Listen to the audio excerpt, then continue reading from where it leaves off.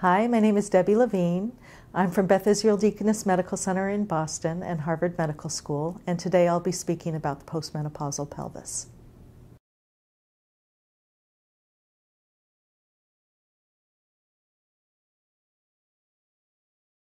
So, the postmenopausal pelvis. On this talk, what I'd like to talk about is what's important to know about the postmenopausal uterus and ovary. We'll be talking a little bit about how hormones affect the appearance of the uterus and ovaries. We'll talk about how we distinguish between benign and malignant disease, and then discuss Doppler and how helpful is it in distinguishing between benign and malignant disease. Now, menopause, at least in the United States, is very, very common. We have about 280 million people, and over a quarter of American women are postmenopausal, with 35 million being greater than 50 years of age. The life expectancy for a girl born today is about 80 years. So we have a large number of people who are living in the time of menopause. We need to know about the appearance of the postmenopausal ovaries because it can sometimes be difficult to visualize them. It's not as easy when women are younger and they have nice, large looking ovaries with lots of follicles and cysts that let us see them. So, sonography of the postmenopausal ovaries are important because sometimes there'll be a palpable mass on physical exam, and we're trying to figure out if that's an adnexal etiology. Some women will be at high risk for ovarian cancer and desire screening. Um, and then, if the patient has a known mass, uh, we need to know how to think about it. If it's completely cystic, thin walled anechoic, it's likely benign. No surgery is probably needed.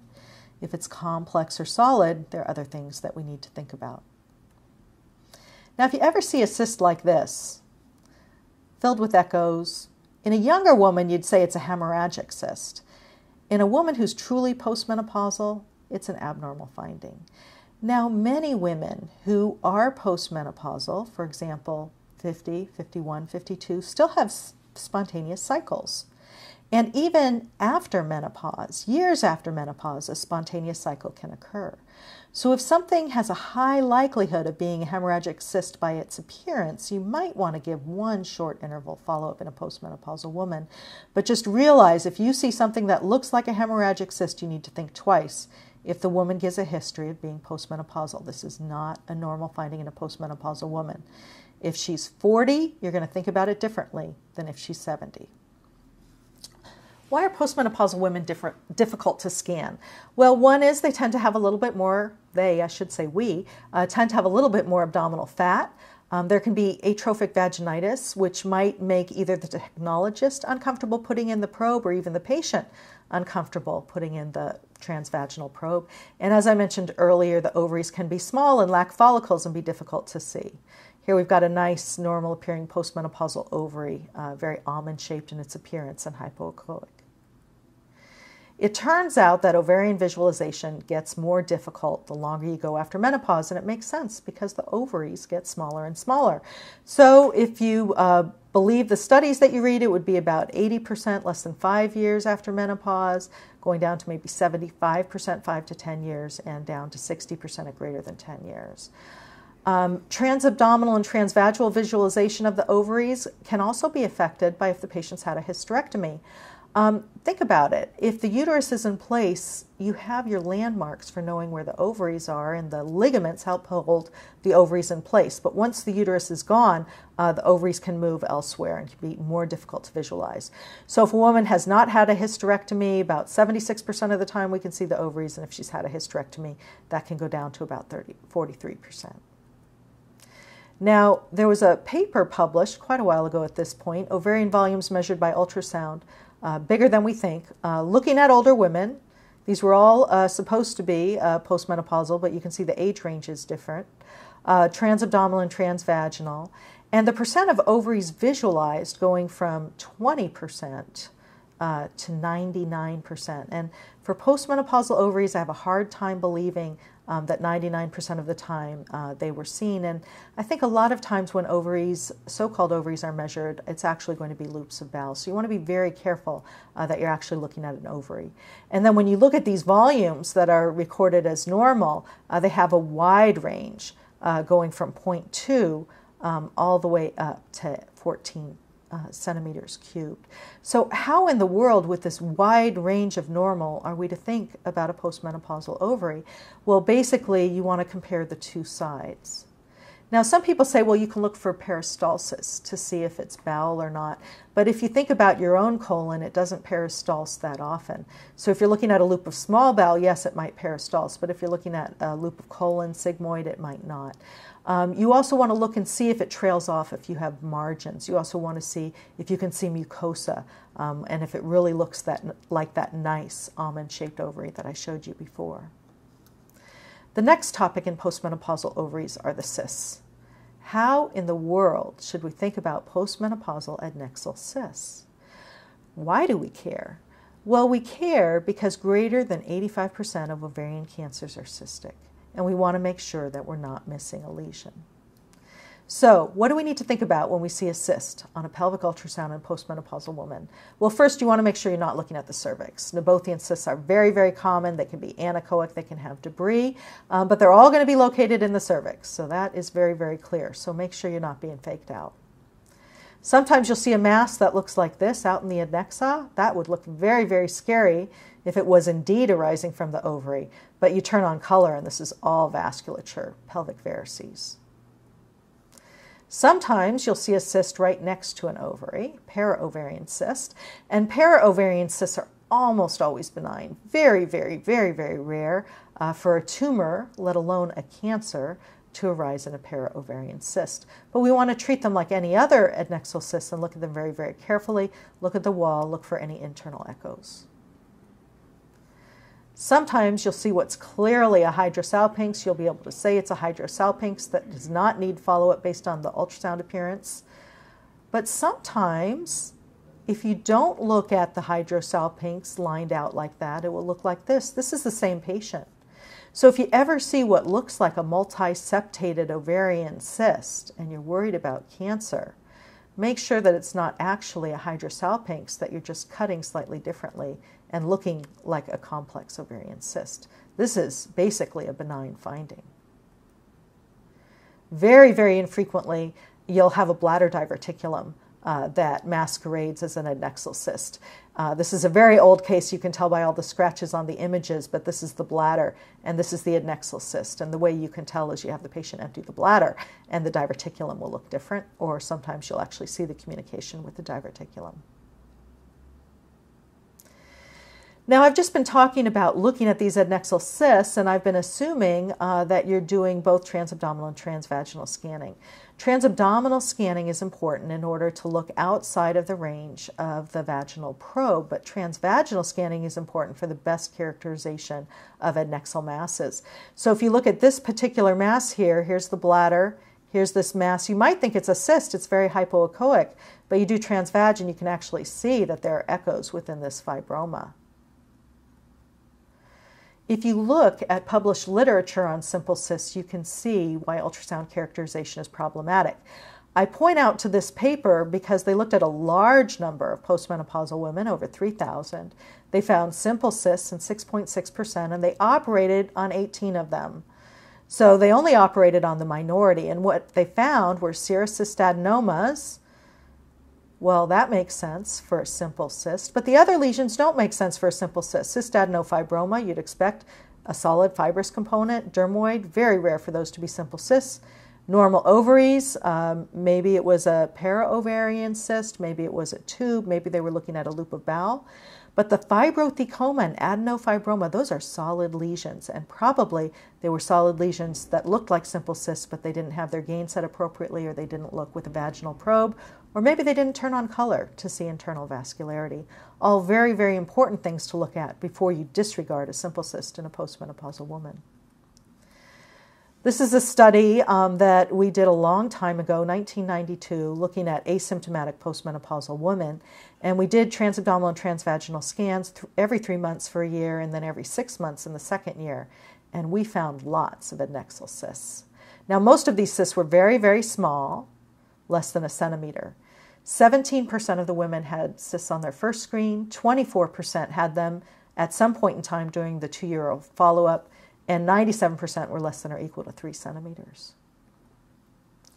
Then, looking at over time what happened with these postmenopausal cysts, you might think, well, if it's a para-ovarian cyst, it won't change. That's that's 28% didn't change, but a large number actually disappeared. Now, cysts can disappear because you don't see them or because they actually resolve, so you want to make sure that you're doing good quality follow up studies. Uh, but the postmenopausal ovary can actually, like I said before, have a spontaneous cycle, especially if you're in your first five years after menopause, the early postmenopausal period.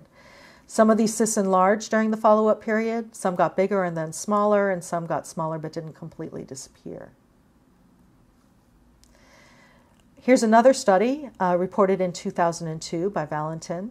They had 134 postmenopausal women with 160 cysts. They said 25% were complex but benign appearing, and they followed up, them up for eight years. 9% of the cysts ended up being removed, 29% of them disappeared, 13% of the women got new cysts over time, and 49% increased or decreased in size or stayed the same. So again, they're finding similar size, uh, similar appearances of cysts. Some go, some occur, um, some increase and decrease in size. Very important to realize this. And I think the other issue are these complex cysts. You might see a little bit of debris within them, uh, but overall they look benign. These are very scary and we tend to follow them up very closely. This is the uh, uh, example of a cyst that's disappearing. On the first screen, it's three centimeters. On a follow up six months later, three millimeters. What if it's not a simple cyst? You can see from this image, last menstrual period 15 years ago, this really looks like a dermoid. It's got all these bright echoes. It's got some linear bright echoes within it. Well, if it looks like a dermoid, it probably is a dermoid. We think about dermoids as being tumors of younger women, but if this patient had a dermoid her whole life, it was never removed, it's still there, it's not going to go away on its own. So if it looks like a dermoid, it's a dermoid. The problem with postmenopausal women is that the incidence of dermoids transforming into squamous cell carcinoma that risk increases with patient age. So frequently, if you see a dermoid of this size in a patient of this age, it will end up being removed, even though it's most likely a benign finding. Here's another postmenopausal woman with a lesion that looks like a dermoid. It's a dermoid. This, though, doesn't really look like a dermoid. It's a 28 centimeter cyst. It's got a few septations. Most likely, it's going to be a serous cystadenoma. Even though the patient's postmenopausal, this has, even though this is big, it still has very benign characteristics. But when these lesions get to be this size, they tend to be removed. One of the concerns is that you might not be seeing the entire wall of the cyst. If a patient really doesn't want to have surgery, if a lesion is more than seven centimeters in size, we're currently recommending an MR to ensure uh, that the entire cyst is being well characterized. Once you see solid elements, that's when you're going to worry about malignancy. So a cyst with solid elements, you're going to look for blood flow. Look for blood flow in that solid element and see if there's any blood flow. If that's a real finding, you're going to worry about a malignancy. One single thin septation isn't bad. One tiny nodule without flow is not necessarily bad. But once you get to the thick irregular septations, the nodules, the nodules with flow, that's when you're going to think about cancer. So here we've got somebody, her, her last menstrual period was 45 years ago. She was like 90 years old. This is her bladder. This is a transvaginal scan. She couldn't empty her bladder real well. You're seeing this cyst. This is a thin septation here, but this is a more solid appearing nodule. You're going to think about a malignancy in her. And this is a more florid appearing malignancy with large uh, solid area. And here's a different patient with a very complex cyst, cystic and solid areas and blood flow. Blood flow is so incredibly helpful, but we'll get back to that in a little bit. Here's a solid lesion with flow. I know it's a solid lesion. It doesn't look like a fibroma, fibrothecoma. If it's bilateral, we're going to think about metastatic disease. Here we've got bilateral enlarged ovaries and ascites. You're going to think about metastatic disease. Here we've got some omental cake. Uh, definitely metastatic disease. Well, let's now turn to Doppler. Is Doppler helpful in helping us determine when we see one of these lesions if it's benign or malignant. When Doppler first came out, low malignance, uh, low resistive index, and I'm showing you the resistive index here.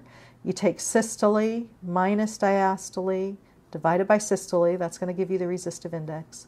Low resistive index, less than four, was associated with malignancy. But there were a lot of problems with this because the corpus luteum has a lot of blood flow and has a low resistive index, and so do inflammatory and metabolically active masses. A high resistive index is associated with a non functioning ovary and with benign masses, uh, but you can also see areas of high resistance within tumors. A lot of papers have come out on uh, use of Doppler in adnexal masses. And the very high sensitivity and specificity that was originally reported has definitely uh, fallen out of favor. This exam, uh, paper from Bromley 1994 had 8% sensitivity and 82% specificity uh, for looking at malignant masses. Here I'm looking at a solid element in what looks like a tumor. Um, and in one area, I get an RI of 33%, and in another area, an RI of 77, I'm sorry, 66%. So again, you need to look around in the solid area uh, for the most abnormal appearing area of resistance. And here we've got a tumor uh, with blood flow in the solid element. And of course, you're going to think about a cancer in this case or in this case. And it really doesn't matter what size this lesion is. This is a 2.2 centimeter nodule with a tiny little solid element within it. But that tiny solid element has blood flow. And so it doesn't matter what this patient's age is. It doesn't matter that this cyst size is in the physiologic range. Once you have a solid nodule with blood flow, the likelihood is that it's malignant, and this was a very early stage cancer. This is what we need to look for if we want to find early cancers. Here's one of the lesions I showed you before with this large kind of frond-like solid area, lots of blood flow. Look at this resistive index. This is a beautiful resistive index for a benign lesion, but none of us would call this a benign lesion. There's a large solid area with blood flow. This is malignant. Ignore the resistive index. So let's kind of put all of this information together in how we should think about postmenopausal solid adnexal masses. Anechoic cysts, very, very, very common. Thin walled, anechoic, through transmission, they're benign. If they're large, they might be neoplastic, like a serous cystadenoma, but it will still be a benign lesion. Complex cyst. Well, you can have a hemorrhagic cyst if a woman spontaneously ovulated, so you want to check for that. But if it's persistent, if there's nodularity and septations, that's going to increase the likelihood of malignancy. If it's a solid mass, it turns out that fibroma and thecomas are going to be the most common solid mass, but you don't want to forget about metastatic disease and undifferentiated carcinoma. Here's a very interesting autopsy study done by Valentin in 2003.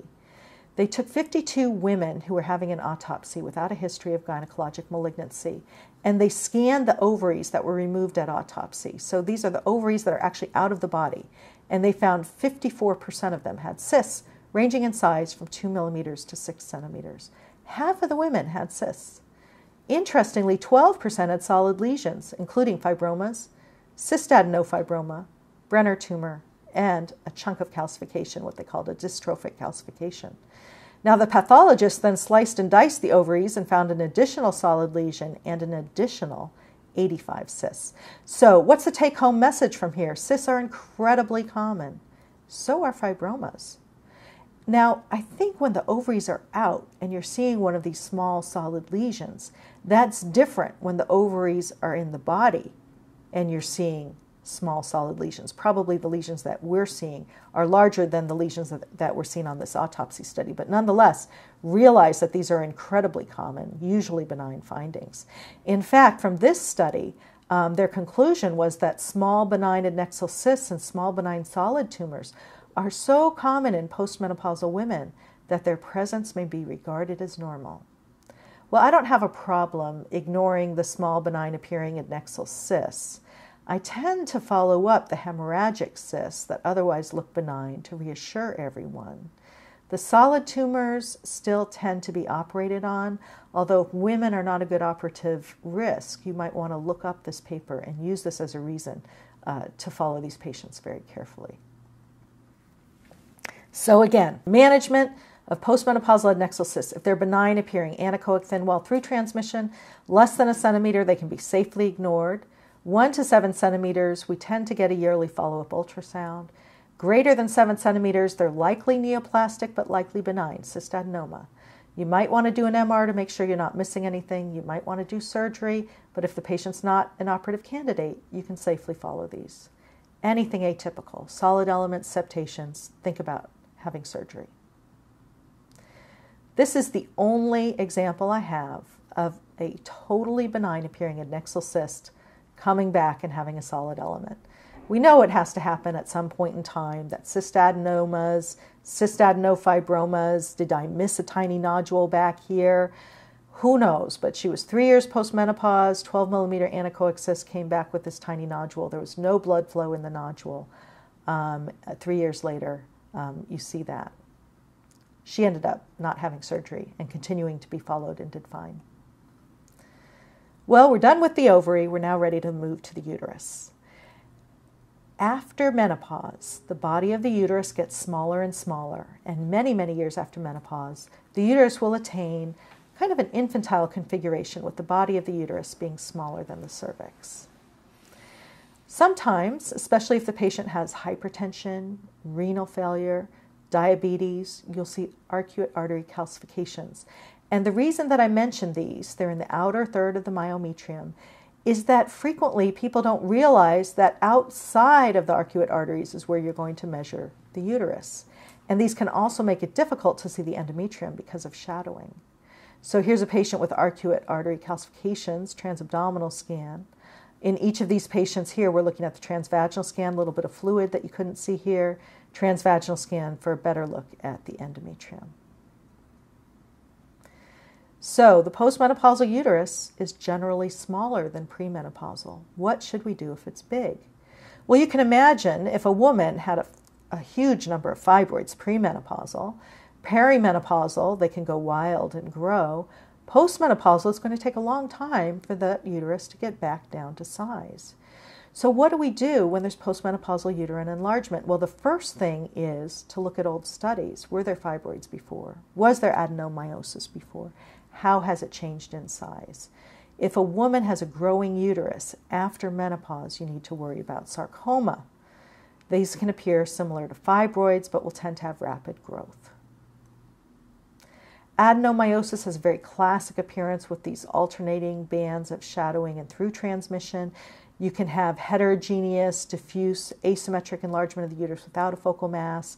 You may or may not see small myometrial cysts. Now, adenomyosis we typically think of involving women ages 40 to 60. So you can imagine in that early postmenopausal period, you're going to frequently see adenomyosis as you're scanning patients with enlarged uteri. Another cause of postmenopausal uterine enlargement that should be very obvious is fluid. Now, fluid can occur in an obstructed uterus, and we always worry about that obstruction being due to cancer. Here we can see a tumor. Uh, hard to know if this is coming out of the cervix or the lower endometrium, but it's definitely causing obstruction. So the obstruction can lead to a fluid filled uterus. But if we don't see a lesion, we're going to look very carefully, of course, for a lesion. If we don't see a lesion, then the most common cause of the obstructed uterus is actually benign cervical stenosis. Women who've had prior children, which is many, many women in our population, if they've had previous instrumentation or trauma, uh, they're at risk for cervical stenosis. And down on our list, but not to forget about, are cervical and endometrial cancers, such as what we're seeing in this patient. So, when you see fluid in the uterus, you want to look for a tumor. But sometimes the tumor will actually be grossly invasive instead of obstructive. And in that case, you might just see uterine enlargement. This is a 91 year old woman, and you can't even see where the endometrium begins or ends. In this case, 65 year old woman who hadn't had a pap smear in a long time, there's a big cervical mass. Very, very rare for us with ultrasound to make the diagnosis of cervical cancer because usually patients have a pelvic exam first, and uh, the physician would end up seeing that or testing for it. So we think about endometrial cancer when you have poor definition of the endometrium and loss of the endometrial myometrial interface in a patient with bleeding, usually not as advanced as this, and I'll show you some other images in a minute. Cervical cancer, we're going to think about when there's a solid cervical mass that's hypoechoic. So let's now turn to the endometrium itself. And I have some pictures here of basically a cylinder. And I'm thinking of the endometrium as a cylinder, and we know it's not a cylinder, but I want to just show you what happens if you cut the cylinder obliquely. You're going to make the endometrium look larger. If you get perpendicular to the cylinder, then you're going to get a good measurement. How does that apply to the endometrium? Well, think about the endometrium as our cylinder. We want to line it up and cut perpendicular to it when we're assessing the endometrial thickness. So you need the uterus in a sagittal plane. By definition, we're using both layers of the endometrium. We want to exclude any endometrial fluid and exclude this hypoechoic outer layer of myometrium. Always use transvaginal sonography if you want to evaluate the endometrium well. With women with bleeding, this is a reason to do a vaginal scan. Now, patients, of course, can always decline a vaginal scan. If you have a virginal patient, you wouldn't want to do a vaginal scan. Um, even if she's very postmenopausal and is reluctant, you can show her the probe. You can tell her you'll use lots of extra gel. You can put it in very gently, slowly, and see if she can tolerate it because we want to get a good look at the endometrium. Here's a very full bladder. We're looking at the uterus here and the endometrium. It looks normal. Same patient, transvag, tiny amount of endometrial fluid, tiny polyp.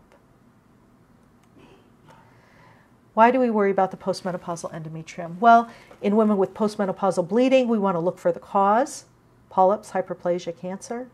We also want to screen high risk women. It turns out that women who are taking unopposed estrogen are also at risk uh, for bleeding abnormalities. Um, tamoxifen causes an estrogenic effect in the uterus. It increases the risk of cancer and also increases the risk of polyps and hyperplasia. Sometimes we'll look at the postmenopausal endometrium to titrate the progesterone dose for women on progesterone. And hormone use is something to consider when you're looking at the endometrium. Women are given estrogens to help alleviate menopausal symptoms and to prevent fractures. Uh, but estrogen use is not necessarily a benign drug. Uh, in 2002, an article came out in JAMA that really changed the way people thought about postmenopausal hormone use. And what they found in this article, risks and benefits of estrogen plus progestin in healthy postmenopausal women, uh, was that there were seven more cardiac deaths, eight more strokes, eight more pulmonary emboli, and eight more invasive breast cancers per 10,000 person years in women who were taking this particular drug regimen. And the benefits were fewer colorectal cancers and fewer hip fractures. But in this case, in this assessment, there were more risks than benefits, and therefore a lot of women opted to no longer take these hormones. However, hormone use didn't disappear, so we can't think just because this paper came out in 2002, people stopped using hormones. They decreased use of hormones. And here is a study from 2004 looking at five health maintenance organizations assessing pharmacy records and um, showing that the use of hormones had gone down but hadn't completely disappeared. So you still need to know about hormones, and you need to realize that if a woman is taking sequential hormones, meaning she's taking estrogen uh, for the first two thirds or three quarters of the month and then progesterone, um, that she'll actually go through um, changes in the endometrium, proliferative and secretory phases. Uh, we looked at some women over time in that same study I mentioned before, where asymptomatic women came in, um, and we looked at them frequently during the month. Eight women went in through eight, eight to 20 exams. Over time, Two of them had no change, but six had changing endometrial thickness uh, with the maximal thickness mid cycle, just like you would expect to see in premenopausal women. And interestingly, two of these women with changing endometrium were greater than 70 years of age. So here's showing um, two graphs of endometrial thickness of two women over time. Here's showing how this really looks proliferative um, and then looks the, like the normal atrophic endometrium. This is the same uh, patient from this study. So when we looked at different women who were evaluated over time, controls were on no hormones. There were few patients on estrogen only. Some were on continuous combined estrogen and progesterone, where you would expect after a woman's been on this particular regimen for three months, the endometrium to be atrophic, um, and then sequential estrogens and progesterones. Uh, the thickness changed over time. It was greatest in this last group, 8.3 millimeters. but it changed in every group over time. And the change, some of that could be due to technical factors, but some of it's also due to endogenous hormones. Um, the range of thickness of the endometrium was also greatest in the women who were on hormones. So here the uh, graphical display of what I just mentioned, that hormone group 4, the sequential estrogen and progesterone, had the highest incidence of the thickest endometrium, um, but also had uh, the most patients who had a changing endometrium. Let's discuss tamoxifen briefly. Tamoxifen is used to treat breast cancer and also to prevent breast cancer in women who are very high risk. It's a mild estrogen agonist in the uterus, and it can cause a thick appearing endometrium with cysts. Now, some of this can be the inner layer of myometrium, and people call this reactivation of foci of adenomyosis. Um, so, you need to be sure whether you're dealing with the endometrium or with the inner layer of myometrium, but you can't forget that the rate of endometrial lesions increases in women on estrogen. And this increase is related to the cumulative dose, how much they're taking and for how long. In this study, they looked at endometrial cancer in polyps in women who've been treated with tamoxifen. So they evaluated 15 patients with endometrial cancer who'd been taking tamoxifen, and five had cancer only in the endometrial polyp. So usually we think if you see a polyp, it's a benign lesion, it's a lesion that can cause bleeding and it should be removed. Obviously that's true, but it's especially true in women in tamoxifen because the risk of cancer occurring in a polyp is so high. So what do we do when a woman's on tamoxifen? Well, we'll talk about cutoffs of endometrial thickness, but uh, less than five millimeters, four millimeters or less, you don't need to do anything else.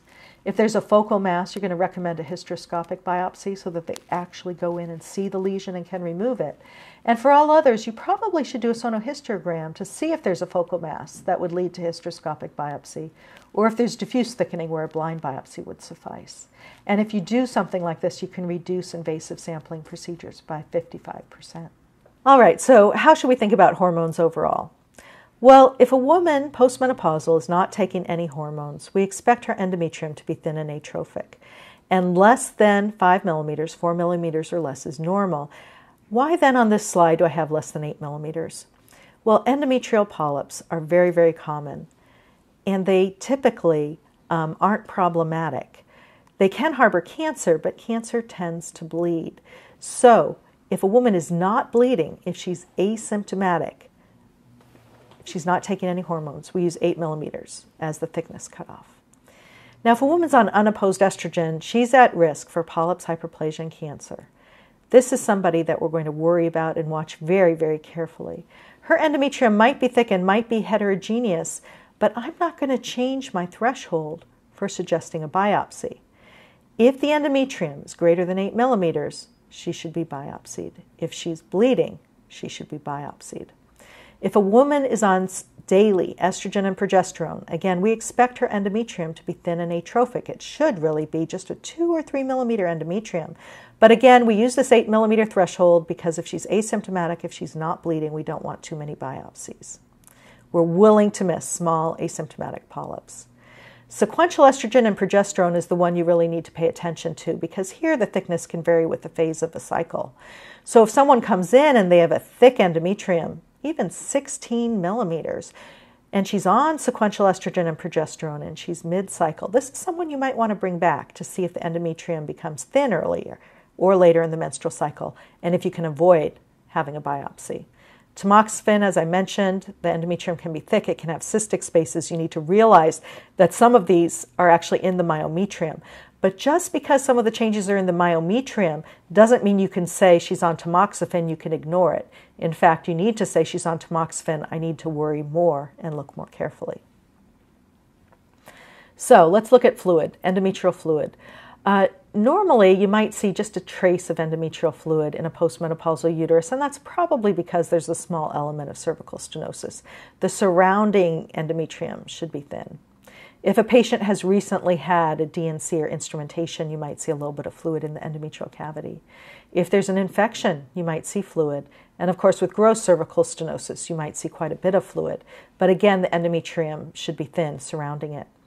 Um, cervical stenosis, as I mentioned before, has an increased incidence in uh, women who've had children. uh, instrumentation and prior x ray therapy. Cervical cancer, you should see an irregular mass in the cervix. This is a woman who was one of our asymptomatic women and had a whole bunch of fluid in her endometrium. And we were really surprised that she was asymptomatic. And sure enough, a couple weeks later, she started having pain due to distension of her uterus.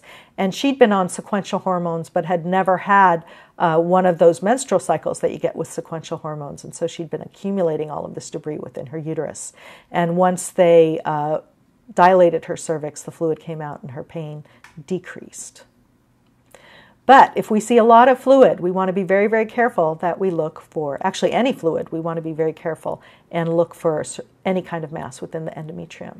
So you're going to look for focal mass, you're going to look for diffuse thickening, um, you're going to look for cystic spaces to suggest hyperplasia. A polyp, you may or may not see a stalk, it might be broad based endometrial cancer, it won't just be the thickening of the endometrium, but also loss of the endometrial myometrial interface in a woman with abnormal bleeding. This is a nice study on 1,000 women who are asymptomatic, postmenopausal, and they found endometrial fluid in 12% of these women. Very, very common. They attempted a biopsy in 131, and cervical stenosis precluded sampling in 12, so you can assume that cervical stenosis was the cause of the fluid. Um, and an additional 32 had some degree of cervical stenosis. So, again, maybe a third of these patients have cervical stenosis contributing to their fluid. Um, in the patients that they were able to biopsy, they found two polyps, one cystic hyperplasia, one adenomatous hyperplasia, and one carcinoma. So, again, they ended up sampling a little bit more than 100 patients. They found one carcinoma. So, when you see endometrial fluid, you want to look very, very carefully uh, for any underlying lesion, but the overwhelming likelihood is uh, that you won't see anything and that it will be due to cervical stenosis. I love the title of this uh, talk, uh, paper written by Steve Goldstein. Postmenopausal endometrial fluid collections look at the donut rather than the hole. So, in this case, we've got a donut, a thin surrounding endometrium, fluid in the endometrium. Notice these arcuate vessel calcifications. You can ignore this if the rest of the endometrium looks good. But in this case, this endometrium doesn't look so bad. But in this case, this endometrium doesn't look bad, but we can actually see a lesion off to the side here that's invading the myometrium, and this is a very early cancer. This is what you want to look for. When we think about women with endometrial bleeding, postmenopausal women, and they have biopsies, about three quarters come back atrophy and about a quarter come back with a lesion, hyperplasia, polyps, or cancer. And ultrasound can be very, very helpful in triaging these patients because obviously you don't need to biopsy everyone with atrophy. And a lot of studies have looked at this. And this number four, some people use less than five, less than or equal to four, comes up a lot because it turns out that if you use four millimeters as your threshold, the likelihood of missing cancer is very, very, very low. So, this study over a thousand women, atrophy, 4 millimeter mean thickness, cancer, 21 millimeter mean thickness, no malignant endometrium was less than 5.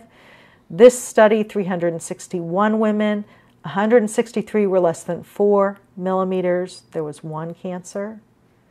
There was recurrent bleeding in 6%, and they had increased endometrial thickness on follow up in 8%. So, again, we can't get rid of that diagnosis of cancer in women who are bleeding. And the reason is cancer needs to start somewhere. It starts out as a microscopic lesion and then it grows. We're not a microscopic technique, but usually by the time the cancer is big enough to cause bleeding and to cause symptoms, the endometrium will be greater than four millimeters. So, postmenopausal thick endometrium. Hormone use will depend on the hormone regimen. Don't forget about that sequential estrogen and progesterone. But this endometrial myometrial interface is really important because if it's intact, there's not an invasive cancer. Now, I didn't spend a long time on fibroids. I assume uh, the people listening to this lecture know what fibroids look like shadowing. Um, they can be sessile or pedunculated, isoechoic, hypoechoic, very rarely echogenic. If they're intramural, they're going to have that classic appearance. If they're submucosal, they can disrupt this endometrial myometrial interface. And when you look at this chart, it's only a fibroid or a cancer that can do that. So if you can't define where the endometrium begins and ends, figure out if it's a fibroid or not. If it's not a fibroid, you have to worry about a cancer. Hyperplasia can cause diffuse or irregularly thickened endometrium, but it can also be focal. Polyps can have a variety of different appearances. They can have smooth margins, they tend to be echogenic. You might see the vessels going in and branching, but they might be sessile and very broad based and look like focal hyperplasia or cancer.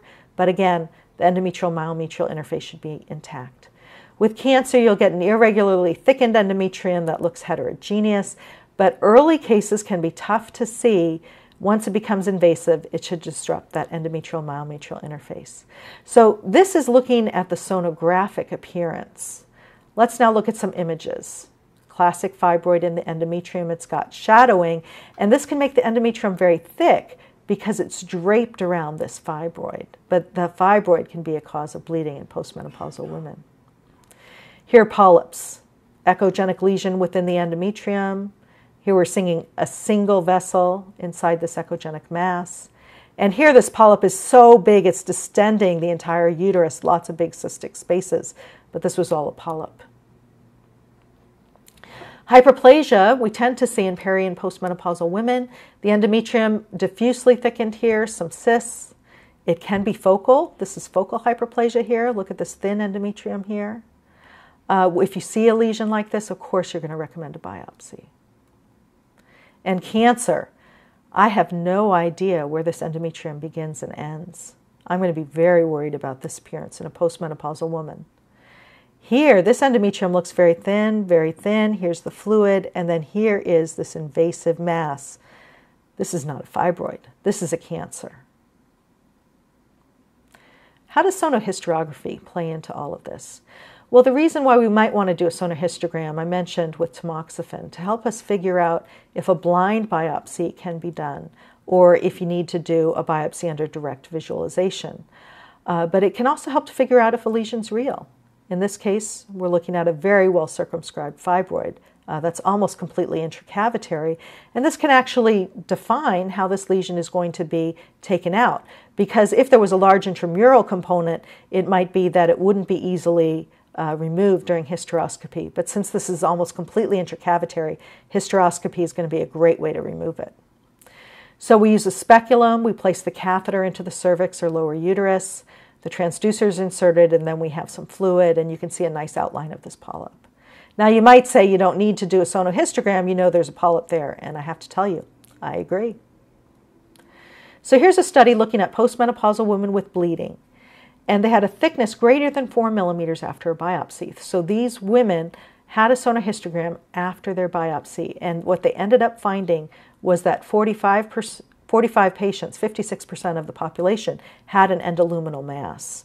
Many of these uh, were pedunculated, some were sessile.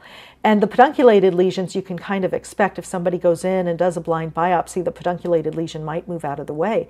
But sessile lesions, you would think they would be able to um, get if they're large enough. The large majority of the lesions um, were fibroids, followed by polyps. Um, but they also found focal hyperplasia and cancer. And of course, those are the lesions um, that we don't want to miss. Well, is it safe? What do we worry about if someone has endometrial cancer and you put fluid under pressure into the endometrial cavity? We worry that some of those cancer cells are going to go out the fallopian tubes and into the peritoneal cavity. In this particular rather old study, they looked at 89 patients with endometrial cancer who had hysterography, so an x ray exam, uh, putting contrast into their uterus. And they looked at patients who had stage one and two cancer, meaning that they weren't treated with radiation therapy. You would think patients with spill, meaning the contrast went into the uterus and out the fallopian tubes, potentially carrying malignant cells into the peritoneum, would have a worse outcome than patients with no spill. But it turns out uh, they had one death in five years in 28 patients, whereas in this group with no spill, six deaths in five years and 46 patients. So they had a higher incidence of deaths in the patients with no spill. Now, you could do a power analysis and say this isn't statistically significantly different. The bottom line here, though, is that from the small amount of data that we have, um, we don't see an increased risk. What I would say is if you know it's endometrial cancer, don't do the study. Um, but if you have done a study and you suspect endometrial cancer, uh, don't worry too much about it. So, summary slide of postmenopausal endometrial assessment. We look at the thickness. All right. Now, I'm starting out saying we look at the thickness because I assume if there's a solid mass, you've already described it. This is assuming a homogeneous endometrium. If there's a focal lesion, it needs a biopsy. And if it's focal, hysteroscopic guidance is the right way to do that. If the endometrium is less than four millimeters and the patient's not bleeding, this is a normal finding. If the patient is bleeding from all the studies that we've talked about, the patient probably does not need a biopsy because atrophy is probably the etiology. If she continues to bleed, the gynecologist is probably going to still do a biopsy. Let's go to the other end of the spectrum greater than 8 millimeters, thick. All right? Do you need to go straight to a biopsy? Well, Sonohysterography might be helpful if you think it would change what the patient's going to do, uh, but most of these patients greater than 8 millimeters are going to go to a biopsy unless the woman's on sequential hormones. If she's on sequential hormones, you have to figure out where she is and rescan her if needed earlier or late in the menstrual cycle, and if it's still thick, then a biopsy endometrial thickness in between 5 to 8 millimeters. This is when it matters if she's bleeding or not. If she's not bleeding, we're willing to miss the small focal polyps. We're willing to miss them. They're not causing problems. She doesn't need a biopsy. Uh, but if she is bleeding, we're going to lower our bar. 5 to 8 millimeters, recommend a biopsy because we don't want to miss cancer. So that's it for the postmenopausal ovaries and uterus and endometrium. Thank you very much for your attention.